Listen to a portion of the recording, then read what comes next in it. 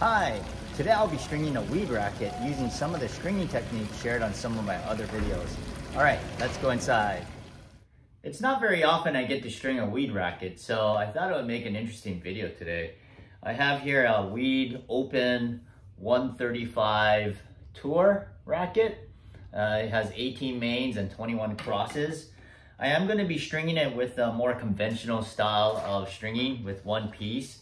It does call for 42 feet. Uh, it says you can get by with 40 feet. And um, they do have another method of stringing called the LP, which is live periphery.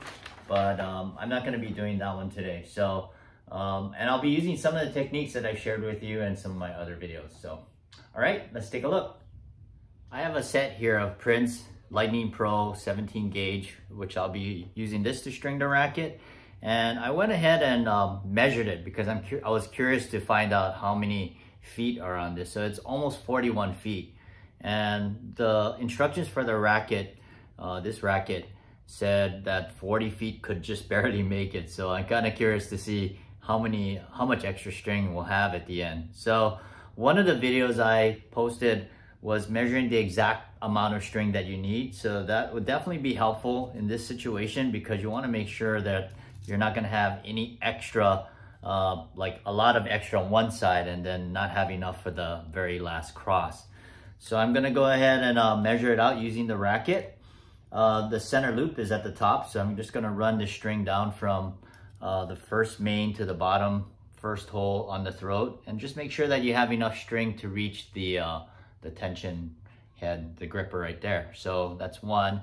It has uh, 16, so it's eight on each side. So I'm gonna measure eight. One, two, three, four, five, six, seven, eight. And then I'm also gonna run one cross at the top. So I'll tell you why later, but I just wanna make sure I have enough for that up there. All right, so I have that in my fingertips right there. I'm not gonna let that go. And I'm also holding the, the coil of string, so I'm not gonna let that go right now.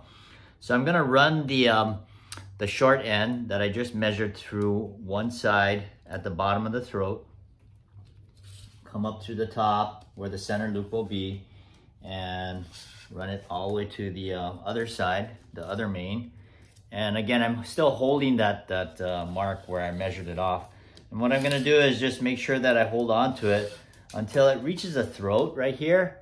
And then what I'm gonna do is just let go of it um, and then measure this part out. So this is approximately the distance from where I held it to where it, where it has to come up to the top. So hopefully that makes sense, but basically you wanna do that. Then once you get that measured out, then you can release the rest of the set, but you wanna just make sure you just don't throw it down to the ground. Uh, you wanna try to uncoil it so that it comes off um, without tangling. And on both ends of the the string, I already cut the uh, the tip so it's at an angle. All right, so I'm gonna use the Yasuki method to start off the uh, first pull. And this is being strung at 58. Uh, I'm clamping the long, the long side uh, main. And then again, you clamp it at the top.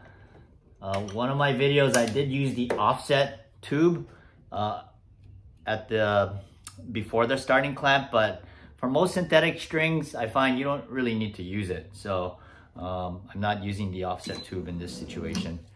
All right, so I just released that tension. Um, again, this tension here is at half the reference tension.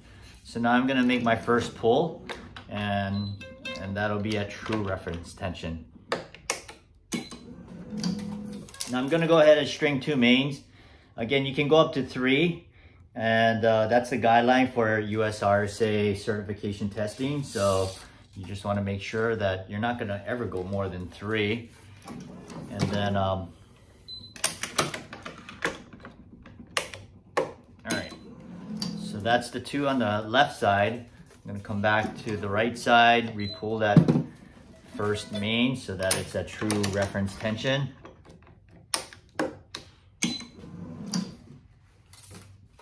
And then I'm gonna go ahead and proceed until I reach uh, the fourth to the last main, and I'll tell you why, what's gonna happen when we reach that point.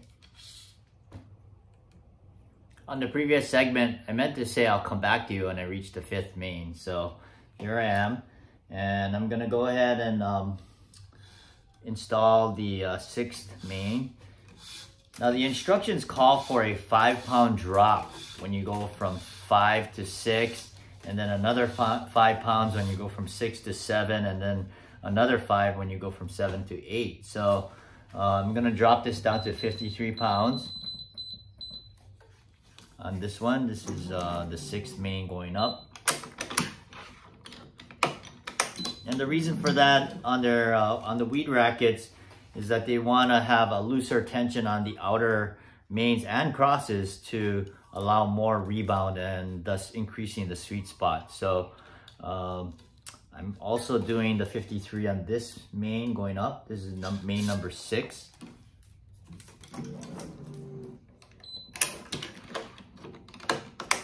All right, so now we're gonna drop it down to 48. And this is main number seven.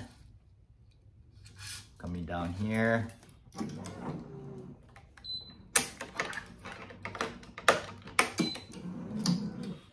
Main number seven on this side, coming down. Now in this main, I'm gonna actually clamp the string on the outside of the frame because I'm gonna need this clamp to clamp that first cross uh, that I mentioned earlier. So I have this leather pad with a slit cut into it. And basically it's just gonna provide some padding so that the starting clamp is not rubbing against the frame. All right, so uh, we're gonna drop the next string down to 43. And this will be the last main going up. And this is number eight.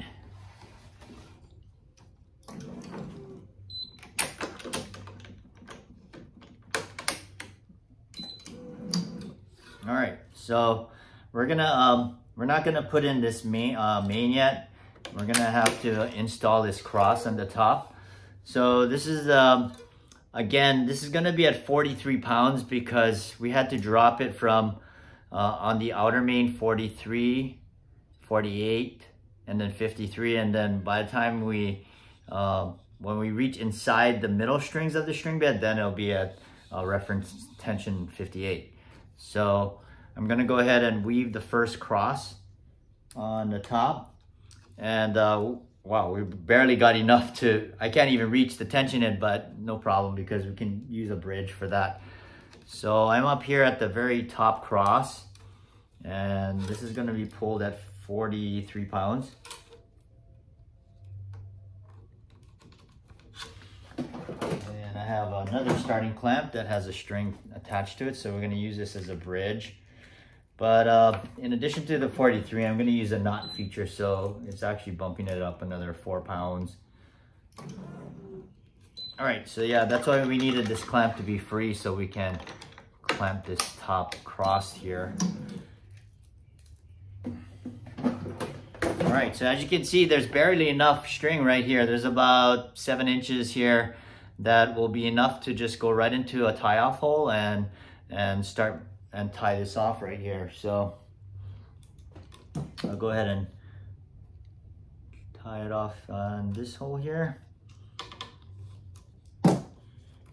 So yeah, this this will actually ensure that I'll probably have enough at the uh, the very last cross for sure because you know with this much left over, I'm pretty sure we're gonna be safe at the end. So I'm gonna go ahead and tie this knot off. And um, yeah, this is barely enough room to get this knot even tied, but um, again, that's actually a good thing. All right, so I got that. Now we're gonna come back to this uh, uh, seventh main, but I have to bring this up to 48 because I wanna take off this starting clamp, but before I do that, I want to make sure it's at the tension that we pulled it at originally. So that's at uh, 48. Okay, we're gonna drop it down to 43 again.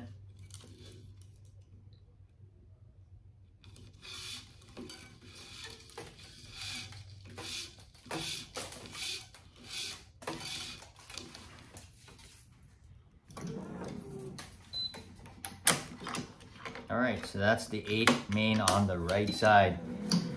So what I'm gonna do now is that this uh, second cross has to be at 48 because remember we went from 58 to 48 to 43. Uh, is that right? Yeah, 53, 48, 43. So I gotta bring this up to 48, right there.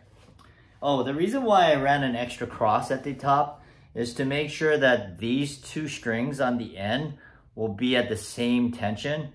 If I had just uh, run the string up and just tied it here, after you release the knot at the top, there's gonna be a little drawback or a little bit slack that's on the outside of the frame that's gonna cause this string to feel looser than the other side. So uh, by tying it off, by tying off uh, across and making it up here, uh, you know, that'll make sure that in the end, this string and the last string will actually be about the same also because they'll be both tied off. And these two strings are not tied off, so that'll keep that tension uh, consistent also. So I'm gonna go ahead and do the uh, first three crosses. And um, again, this one will be at the 48 pounds.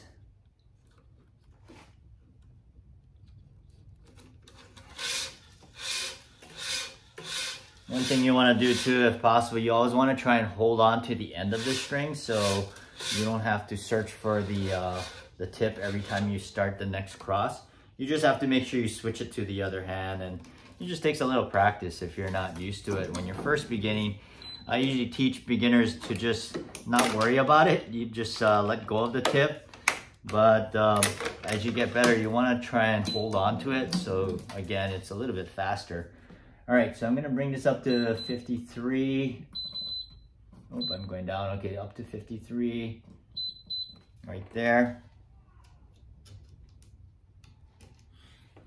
Now, before I put the strings into the holes on the outside, I'm always looking to make sure that it's not gonna cross over a string that's already there. So you, again, you wanna watch for that. You don't wanna ever cross over another string and leave the string um, protruding past the bumper guard. So again, that's one of the guidelines when you're taking the USRSA certification test. Uh, you don't want crossovers at the top of the head. So uh, always make sure that your strings are lying flat on the outside. All right, so as I'm pulling this string, this string right here is actually rubbing against this main that's coming on the outside. So I definitely want to make sure you're going, uh, I'm pulling it slowly, but I actually ran the string above the string. So I can't really show you that string. I don't know if you can, yeah, I probably can't see it.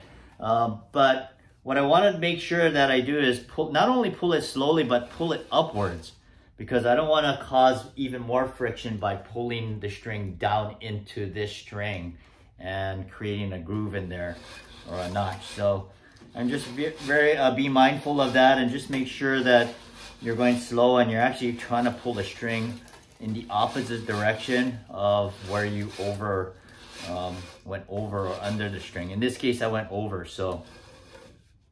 All right, so there's that third cross. We're gonna do that at 53. I'll go ahead and weave one more string and then, uh, and then after that, I'll weave the rest of the racket until I come to the, uh, almost towards the end. So I'm gonna go ahead and just uh, finish this third cross at 53 pounds.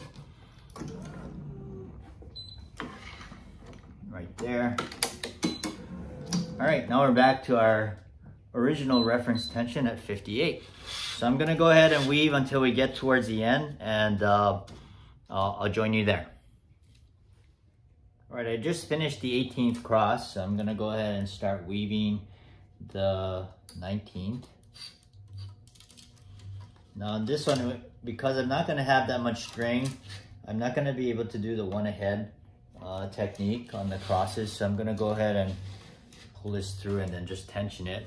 Okay, I'm gonna start dropping at five pounds. So now from 58, going down to 53 on the 19th cross.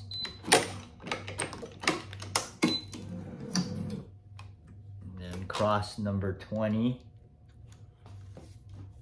Got some uh, strings blocking the hole, so um, again, I wanna make sure I'm not gonna cross over on the outside of the frame, making sure that the string stays flat.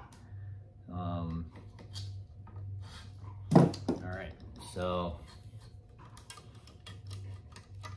and then this one, I'm gonna also drop the tension by five pounds. So now we'll be down to 48 pounds on this one.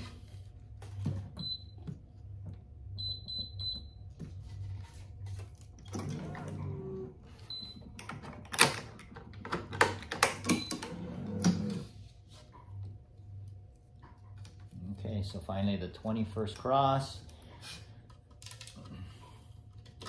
Lead this through here and drop it another five pounds when I tension it. Now I am gonna use a knot feature which does increase it by 10%, so it'll add another four pounds or so. So um, let me get that out there. So 43, knot feature.